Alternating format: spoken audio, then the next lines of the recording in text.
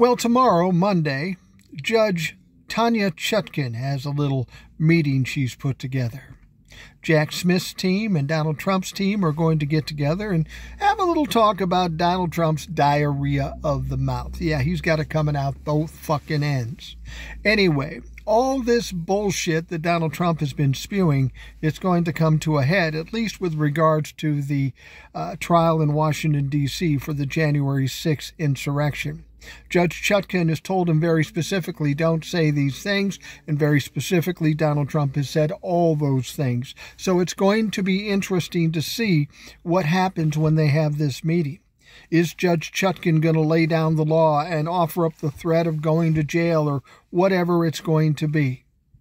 Nonetheless, it seems to me that Donald Trump is going to get a little bit of a spanking tomorrow. And I just had a tip for Judge Chutkan if you are going to spank Donald Trump tomorrow.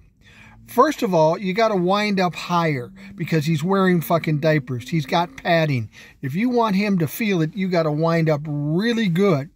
And another little tip remember those plastic masks you had during COVID? Not the mask across your mouth, the clear plastic mask, look like a welding helmet. Get some of that because if you're going to be spanking Donald Trump, there's definitely going to be some fucking splatter.